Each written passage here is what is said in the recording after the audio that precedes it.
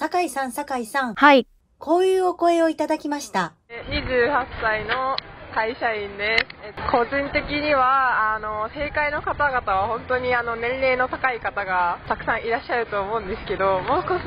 私たちの同世代か、もう少し上の年代の政治家の方をもっともっと国会とかに採用していただければ、意見も通りやすいんじゃないかなとは思ってます。あまりにも政治家の方たちの世代と私たちの世代の幅が、差が大きすぎてしまうと、やっぱりいろんなギャップが生じてしまって、あの、理解できる部分も難しいと部分があるんじゃないかなと思うので、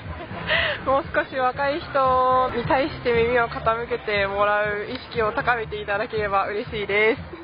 はい。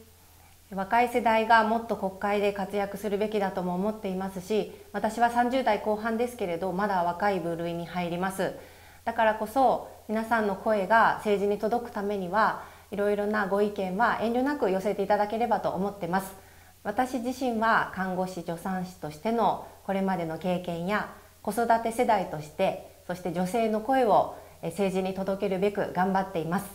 皆さんのお一人お一人の自分の問題意識やそして当事者としての声もきっと政治で役に立ちます。また私と同じように国会議員になって一緒に仲間になってくれる方も募集をしています。ぜひ仲間になってください。